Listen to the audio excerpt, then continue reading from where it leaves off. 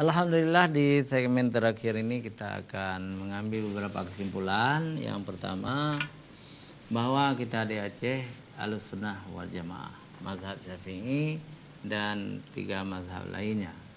Ini perlu kita pertahankan. Uh, di Aceh silakan diajarkan mazhab-mazhab lain, tetapi di perguruan tinggi yeah. atau di daerah-daerah sebagai perbandingan jangankan mazhab lain agama lain pun tidak berdosa kita kita kenal. Kita pelajari mazhab eh, agama Yahudi kita pelajari agama Nasrani tidak dilarang. Ya. Tetapi bukan untuk kita amalkan dan bukan untuk kita ajarkan kepada orang-orang awam. Bagi orang awam orang awam dalam tanda kutip itu orang orang biasa. Masyarakat. Masyarakat itu jangan kita ajarkan berbagai macam mazhab nanti mereka itu bingung. Tapi bagi peneliti mahasiswa dosen-dosen silakan belajar mazhab lain perbandingan agama ya. Supaya kita tahu apa yang disebut dengan syiah apa yang disebut dengan khawarij apa yang disebut dengan uh, apa namanya Ah, Ahmadiyah Qadiyah apa yang disebut dengan berbagai macam mazhab sesat di dunia Islam. Kita sekedar tahu aja. Bukan untuk kita ajarkan kepada orang awam lalu orang awam itu bingung. Bahkan ada orang awam itu nanti meragukan mazhab yang benar. Meragu, meragu, meragukan ada sunnah jamaah lalu mereka pindah ke kawari pindah ke uh, wah, apa Wahabi bukan Wahabi apa namanya? Syiah Syiah saya kan? Kenapa kita tidak berani menyebut Wahabi itu sesat saya ya? karena Wahabi itu mereka itu bermazhab bermazhab Hambali. Hambali itu alusunah wal jamaah. Jadi kita tidak berani apalagi belum ada fatwa dari MPU belum ada fatwa. Jadi Eh, kita di sini tidak kalau tidak difatwakan sesuatu itu sesat kita tidak berani menyelesaikan. Ini kunci hmm. kita. Uh, pemirsa TV yang dirahmati Allah ya. Tapi kalau Syiah misalnya sudah ada fatwa dari Rabitah Alam Islami mereka itu memang sesat kecuali satu uh, Syiah yang tidak sesat.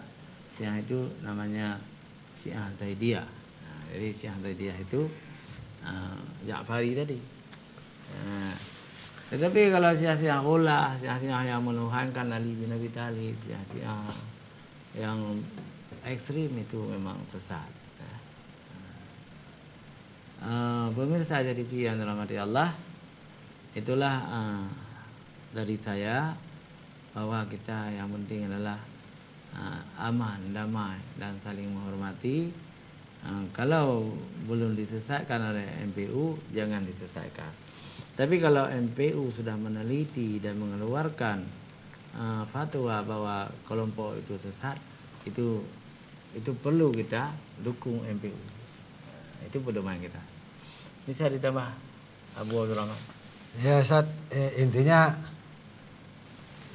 dengan berbagai-bagai uh, persepsi, saya boleh mengatakan ini persepsi, Ustaz. Hmm bukan perbedaan golongan-golongan dengan nama-nama ini itu bukan. Ini persepsi. Hmm. Persepsi ini sekali sekali lagi ini juga ulama. Ya ulama ini dia tahu bahwa persepsi ini itu sangat uh, ekuivalen dengan situasi dan kondisi. Nah misalnya di suatu kondisi yang pegunungan begini, kondisi laut begini, musim hujan begini, kering gini. Nah seperti itu Dr. Cesar. Nah persepsi ini ya tentunya karena di memang dunia ini ada yang di timur lain, anggapnya matanya kalau misalnya ada yang sipit dia kenapa dekat dengan matahari, ya. ada yang misalnya dekat barat dia hitam kenapa dekat dengan laut, ya. oh begitu begitu Ustaz. Jadi semua ini dan ini perbedaan.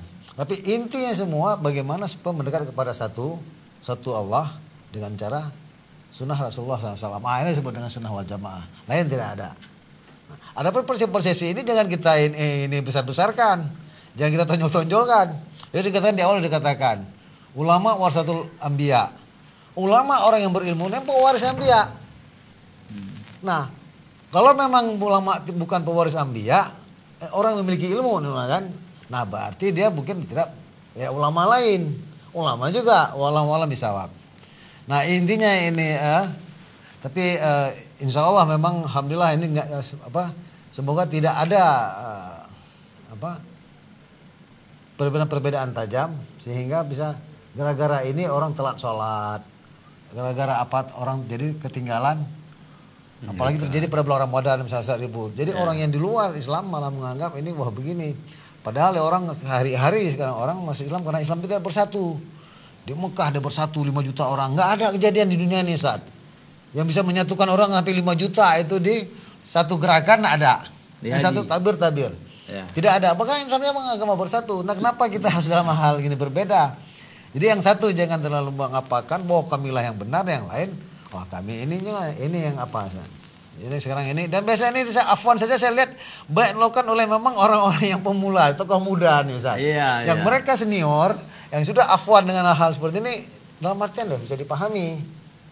Nggak bisa dipahami nih Ustaz. Iya. Nah, jadi toh agama kita juga memang dulu begini sekarang begini bertambah bertambah terus insya Allah bertambah iman kita bertambah ini Ya, di tingkat waktu sudah. alhamdulillah Ustaz. Ya, baik.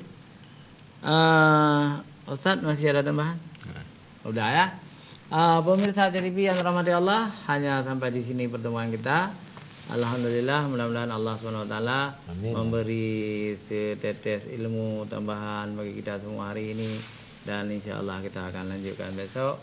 Eh, mari kita berpegang teguh kepada syariat agama Islam dengan akidah sunnah wal jamaah dan fikih empat mazhab itu insya Allah kita selamat di dunia dan di akhirat. amin Allah. Ah, kita tutup acara ini dengan doa Subhanakallahumma wa bihamdika asyhadu an la ilaha illa anta astaghfiruka wa atubu ilaik.